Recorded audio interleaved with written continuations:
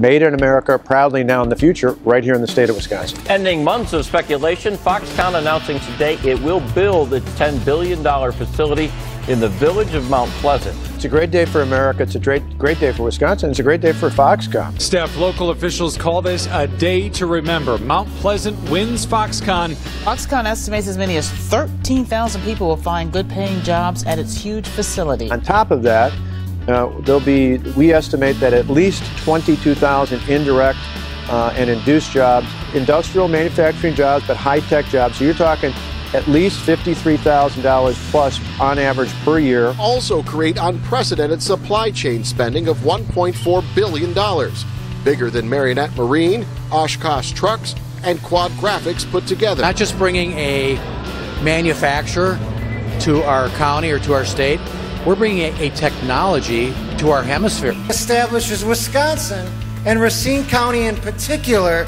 as the electronics manufacturing capital of North America. Those of us in public service, be we elected or appointed, and others in the community and the private sector of help, will look back and say, We were a part of that day.